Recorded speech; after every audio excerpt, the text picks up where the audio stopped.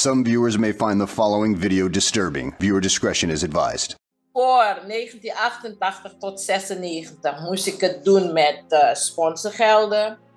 En dat was vaak ook minder vergeleken met uh, mijn Nederlandse collega's. Want uh, ja, mijn longisranang dus is alles anders. En dan tel je eigenlijk half mee. Maar goed, ik had sponsoren.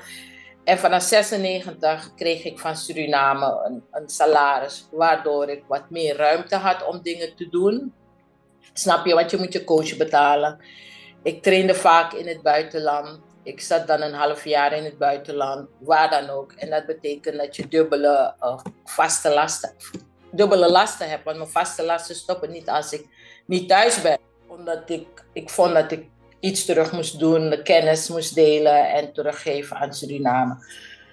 Dat heb ik ook geprobeerd te doen, maar uiteindelijk, uh, zoals vele mensen, ja, ik zou niet zeggen je geeft op, maar een beetje gefrustreerd en uh, stress en wat heb ik nog meer. Uh, ben ik in 2017 teruggekeerd naar Nederland om toch wel hier mijn bestand weer op te bouwen.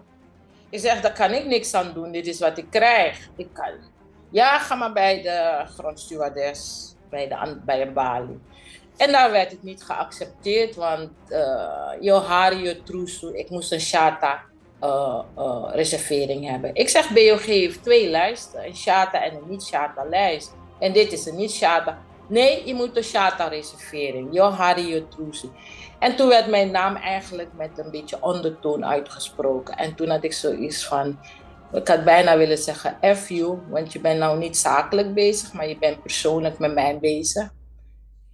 Oh, kijk, ik geef mijn beeld, hè, mijn perceptie, hoe ik het heb ervaren. Want mensen die uh, ervaren het altijd en vaak, uh, ja, leveren commentaar. Maar goed, ik stapte in de positie in, met gedachte dat ik een team om me heb om alles samen te doen om uh, atletiek sport vooruit te brengen en mij in die functie te ondersteunen en te helpen daar waar nodig is.